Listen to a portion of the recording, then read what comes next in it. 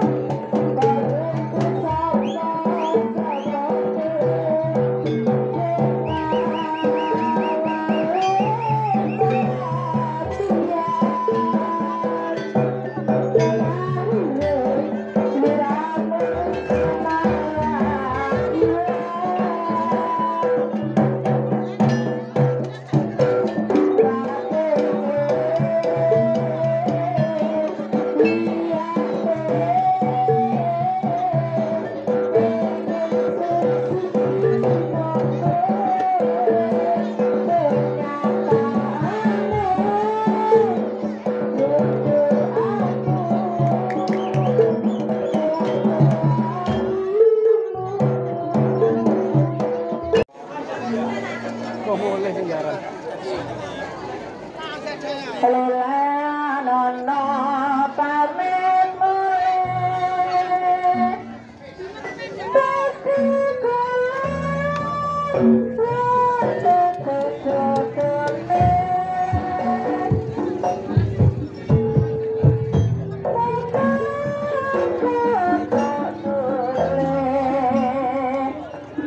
come on, this song.